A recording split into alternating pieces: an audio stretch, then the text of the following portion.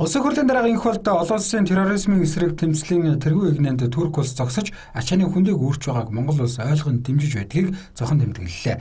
Түүнчлэн хоёр орны харилцааг цаашид эдийн засгийн агуулгаар нь баяжуулж нөөц бололцоог бүрэн дүрэн ашиглах, за түүний тулд тогтон байдалд байгаа худалдаа эдийн засгийн хамтын ажиллагааг төвчүүлэх, тухайлбал хөдөө аж ахуй, аялал жуулчлал, хөнгөн үйлдвэрлэл, хот төлөвлөлт, барилга боловсрал, соёл урлаг, эрүүл мэндийн зэрэг салбарт харилцаагаа өргөжүүлэн хөгжүүлэхэд бэлэн байгаагаа онцолсон юм а. За эдгээр хамтын ажиллагааны үндэс нь эцэг дээдсээс уламжилсан хоёр орны угсаа гарлын түүхэн хэлхээ холбоонд байдгийг тэрээр онцлоод хувийн хвшлийнхэн бизнес эрхлэгчдийн шууд хамтын ажиллагаа нэн чухал байгааг онцлон тэмдэглэжээ.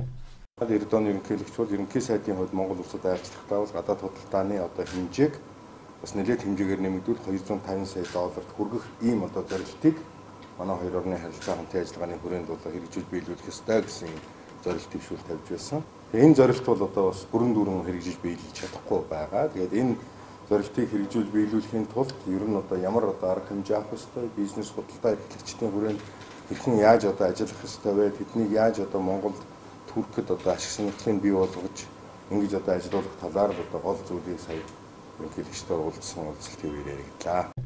Туркийн ерөнхийлөгч Ноён Эрдоган Туркийн хөрөнгө оруулалтыг салбар бүрт чиглүүлэхэд дэмжлэг үзүүлэхэд бэлэн байгаа гэдгийг илэрхийлсэн байна. Тэрээр Монгол улстай боловсрал иргэний агарын тээвэр хот байгуулалт хөрөнгө оруулалтын зэрэг салбарт хамтран ажиллах зарим саналыг тавьжээ. Тухайлбал орхны хөндийг түшгэлсэн аялал жуулчлалын цогцлбор байгуулах талаар Улсын хурлын дарга энх болтын саналыг дэмжиж байна гэд Стамбул хотын даргаар ажиллаж байхдаа нийтийн тээврийн асуудлыг хэрхэн шийдэж байсан туршлагаасаа хуваалцаж энэ чиглэлээр хамтран ажиллах боломжтой гэдгээ илэрхийллээ.